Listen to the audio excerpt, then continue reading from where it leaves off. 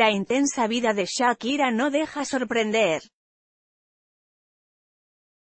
Desde su aparición como estrella joven de Barranquilla a nuestros días, hay tantos condimentos en su biografía que una serie con varias temporadas no sería descabellado. En las últimas horas este culebrón sumó un capítulo, un medio español viralizó un supuesto romance que la colombiana habría mantenido con uno de nuestros más queridos músicos. Fuentes cercanas a Zack sorprendieron con una declaración que hasta ahora nadie conocía. Shakira y una affair con su colega argentino Gustavo Cerati. A más de cuatro años de la muerte del líder de Soda Stereo, miles de fans no pueden creer la anécdota. Shakira y Cerati, juntos en un recital en 2007.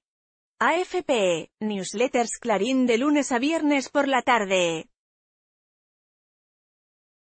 Hasta el momento se sabía que los dos habían sido grandes amigos, pero el portal español Diario Gol asegura que hubo una relación pasional entre los músicos, incluso mucho más romántica que la que ella tiene actualmente, con el futbolista Gerard Piqué, estaba más loca que por Piqué, aseguraron personas del entorno de Shakira a Diario Gol. Además, sostienen que desde pequeña ella estaba enamorada de las canciones y el trabajo de Gustavo. Shakira cumplió el sueño de trabajar juntos. En una entrevista, ella misma declaró, lo pasé tan bien con él, a veces nos juntábamos a hablar a solas. Era una persona que confiaba mucho en mí. Creo que me consideraba su amiga, me acuerdo que nos reíamos mucho juntos, también teníamos momentos de gran profundidad, conversaciones sobre cuestiones existencialistas.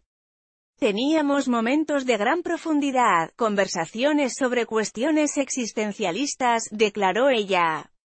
Shakira trabajó con Cerati en varias ocasiones. En uno de sus conciertos, cuando Cerati estaba internado, ella le dedicó unas palabras desde el escenario.